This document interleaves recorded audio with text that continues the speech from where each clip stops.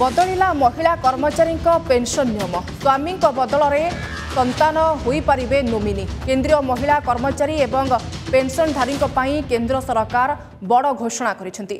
କେନ୍ଦ୍ର କାର୍ମିକ ମନ୍ତ୍ରଣାଳୟ ଘୋଷଣା ଅନୁଯାୟୀ ଏଣିକି ବିବାହ ବିବାଦ ସହ জড়িত মামলার মহিলা কর্মচারী স্বামী বদলরে নিজ পিলামানকু ফ্যামিলি পেনশন বা পরিবার পেনশন পাই নমিনি ভাবে বাছি পারিবে এথিপাই মন্ত্রণালয় পেনশন নিয়মরে আবশ্যকীয় সংশোধন আনিছে ଆଣିଛି କେନ୍ଦ୍ରୀୟ ସିଭିଲ୍ ସେବା ନିୟମ ଅନୁସାରେ ସରକାରୀ କର୍ମଚାରୀ ଏବଂ ଅବସରପ୍ରାପ୍ତ ସରକାରୀ କର୍ମଚାରୀଙ୍କ ମୃତ୍ୟୁ ପରେ ପାରିବାରିକ ପେନ୍ସନ୍କୁ ଅନୁମତି ରହିଛି କିନ୍ତୁ ନୂଆ ନିୟମ ଅନୁସାରେ ଜଣେ ମହିଳା କର୍ମଚାରୀ ପରିବାର ପେନ୍ସନ୍ ପାଇଁ ସ୍ୱାମୀଙ୍କ ବଦଳରେ ପିଲାମାନଙ୍କୁ ବାଛିପାରିବେ ଏନେଇ କେନ୍ଦ୍ର ପେନ୍ସନ୍ ଏବଂ ପେନ୍ସନ୍ଭୋଗୀ କଲ୍ୟାଣ ବିଭାଗର ସଚିବ ଭି ଶ୍ରୀନିବାସ କହିଛନ୍ତି ଯେ ଏହି ସଂଶୋଧନ ସମସ୍ତ କ୍ଷେତ୍ରରେ ଜଣେ କେନ୍ଦ୍ରୀୟ ମହିଳା କର୍ମଚାରୀଙ୍କୁ ନୋମିନି ଚୟନ ପାଇଁ ଅନୁମତି ଦେବ।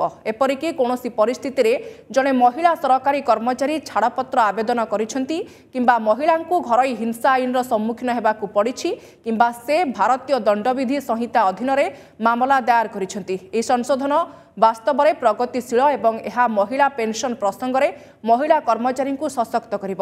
ମହିଳା ଏବଂ ଶିଶୁ ବିକାଶ ମନ୍ତ୍ରଣାଳୟର ପରାମର୍ଶ କ୍ରମେ ଗ୍ରହଣ କରାଯାଇଥିବା ମତାମତକୁ ଦୃଷ୍ଟିରେ ରଖି ଏହି ସଂଶୋଧନ ପ୍ରସ୍ତୁତ କରାଯାଇଥିବା ନେଇ ସେ କହିଛନ୍ତି।